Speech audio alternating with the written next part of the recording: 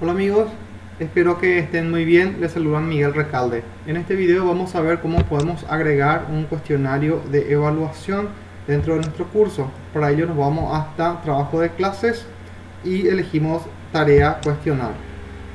Fíjense que en tarea cuestionario, al crear nuestra tarea cuestionario ya se añade un formulario en blanco en este caso, donde tenemos que poner el título, prueba, prueba unidad 1 por ejemplo si completamos en este caso las instrucciones complete el siguiente cuestionario y acá tenemos que ingresar en este caso dentro del cuestionario en blanco ¿sí? para poder trabajar con nuestro cuestionario fíjense que Acá tenemos el cuestionario, en este caso, eh, que es un cuestionario que está en el Drive. Acá en la configuración nosotros podemos ver que efectivamente es un cuestionario. Fíjense que acá podemos limitar para que sea una sola respuesta. En presentación podemos poner que muestre la barra de progreso, ¿sí? Y acá en cuestionario ya está predeterminado que esto sea un cuestionario. Acá podemos darle, esto ya depende de cada profesor, si quiere que el alumno pueda ver la respuesta justo después de cada entrega o que esté más tarde. También si, le puede, si el encuestado puede ver las preguntas respondidas de manera incorrecta, las correctas y también las puntuaciones. Dejamos en este caso esta, eh, esta configuración, le damos en guardar.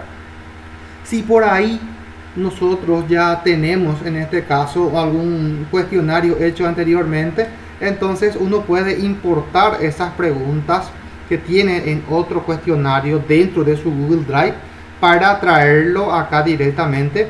Eh, el ejemplo que voy a mostrar no va a ser eso, sino que voy a trabajar un poco con, un cuestionario acá directamente en, Google, en este caso en, Google Drive. Acá podemos cambiar el nombre,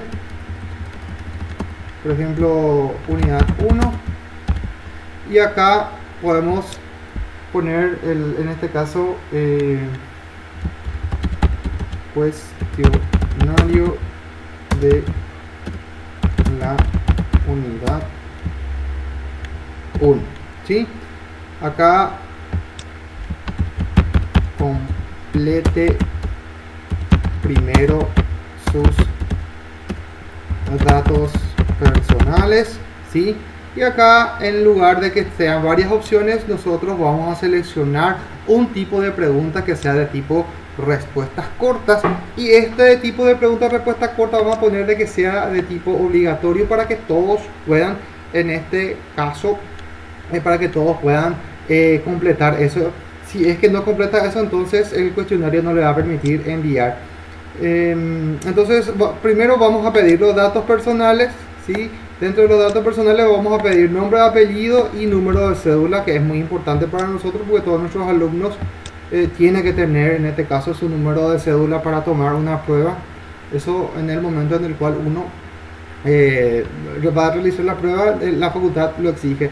Bien, entonces ya tenemos primer dato personal, nombre y apellido. Ahora vamos a agregar otra vez otra pregunta acá. Vamos a, vamos a pedir en este caso el, el número de cédula. ¿Sí?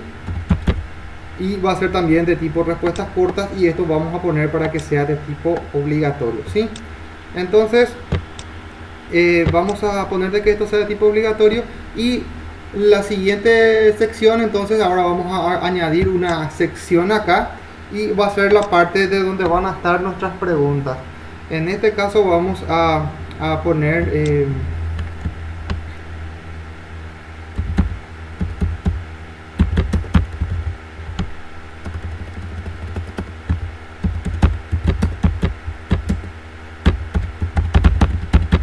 siguientes preguntas. ¿sí? Y vamos a añadir un tipo de pregunta acá. Eh, yo ya tengo algo acá, por ejemplo, eh, voy a hacer una pregunta tipo verdadero o falso. Voy a preguntar si Google Classroom permite realizar un trabajo colaborativo. ¿sí? Entonces mi pregunta va a ser de varias opciones. Acá pongo esto acá y pongo si va a ser tipo verdad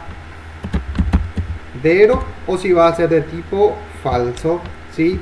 Acuérdense que eh, en este caso esta, esta pregunta yo digo que va a valer, en este caso acá tengo que definir cuál es la respuesta correcta, en este caso la respuesta correcta es que es verdadero, esta es la respuesta correcta y que esto va a valer en este caso 10 puntos. Cuando tenga listo esto acá, lo dejo listo. Voy a poner en este caso de que puedo definir si esta respuesta va a ser obligatoria o no.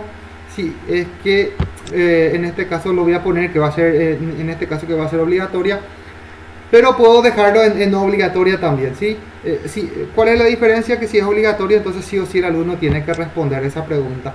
La opción 2, en este caso, eh, voy a preguntar sobre esto. Las secciones, perdón, las acciones que eh, se pueden realizar en la pestaña personas eh, sobre un alumno en particular que esté seleccionado son, son varias acciones que se pueden hacer. Entonces tengo que definir que esta pregunta va a ser de tipo casillas. ¿sí? Y acá tengo que definir cuáles son las respuestas realmente porque en este caso va a seleccionar a una a, una, a un alumno en particular, por ejemplo, yo no puedo editar, no puedo editar su nombre o su apellido allí, ¿sí? Em, luego, eh, yo sí puedo enviar, por ejemplo, un correo electrónico a ese alumno seleccionado. Entonces, defino eso acá en la opción 2. En la opción 3, yo también puedo quitar a un alumno. De ahí le puedo eliminar en este caso de mi curso eso sí lo puedo hacer. La otra de las opciones sería silenciar. En este caso, yo puedo silenciarle a un alumno. ¿sí? Y la otra opción que sería para, para despiste, yo no puedo copiar eso como, como un enlace. ¿sí? Entonces, esta acción no, no, la puedo hacer. Fíjense que eh, entonces acá voy a poner de que esta respuesta sea obligatoria y tengo que definir cuáles son las respuestas correctas. Eh, puedo enviarle un correo electrónico, puedo quitar un alumno desde la pestaña persona seleccionando a ese alumno en particular y le puedo silenciar a ese alumno sin ningún inconveniente. Voy a hacer de que esto valga sobre 10 puntos acá y le digo que esto ya está listo. Voy a agregar otra pregunta, sí, la tercera pregunta que corresponde a este cuestionamiento. Google Classroom permite añadir materiales a un curso. Estos materiales pueden ser de diferentes formatos, sí. Y en este caso presento una lista y de, eh, de esa lista hay uno en particular, uno en particular, fíjense que por eso me quedo con varias opciones, pero que sea un en este caso un radio puto, en este caso donde solamente le va a permitir seleccionar una opción. Google Classroom, yo eh, eh, cuando trabajo con un material, yo puedo crear directamente presentaciones ahí, no hay ningún problema con eso. Entonces, sí puedo crear presentaciones, sí puedo crear un documento. Las presentaciones serían muy parecidas a lo que eh, en este caso sería un, un PowerPoint, el documento sería muy parecido a lo que sería un, documento de Microsoft Word. También puedo trabajar con hojas de cálculo, eso sería muy parecido a lo que sería un Excel para nosotros. Pero en, en, Google Classroom yo no puedo trabajar directamente sobre un, eh, eh, un documento editado, digamos, en, en, PDF. Eso no me permite. Sí me va a permitir de repente descargar un documento en PDF, pero yo no puedo trabajar directamente con la edición ahí de un, de un documento en, en, PDF, digamos, ¿sí? Y también me permite, obviamente, eh, crear un formulario. Entonces, también me permite hacer eso. Y acá yo le digo que esto va a ser obligatorio, fíjense, y le defino la respuesta ahora. Acá esto va a valer 10 puntos. Y le digo que yo, en este caso, no se puede trabajar con un documento en PDF. Bien, tengo estas tres preguntas como ejemplo. Bien, ahora voy a terminar. Fíjense que las tres preguntas valen 30 puntos. Entonces acá en trabajo de clase digo acá en cuántos puntos va a valer esto. Esto va a valer 30 puntos.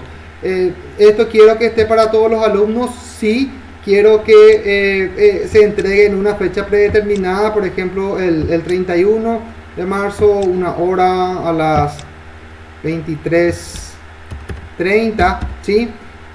Y en este caso puedo también definir sobre qué tema va a estar. Como es una actividad, le digo que esté debajo del tema, eh, en este caso actividades, y simplemente le doy en crear tarea. Una vez que lo tenga eh, listo, entonces eh, publico mi cuestionario para que posteriormente mis alumnos lo puedan completar. Bien amigos, esto fue lo que quise compartir con ustedes. Espero que este video les pueda ayudar para crear pruebas en su curso. Nos vemos en el próximo video. Hasta luego.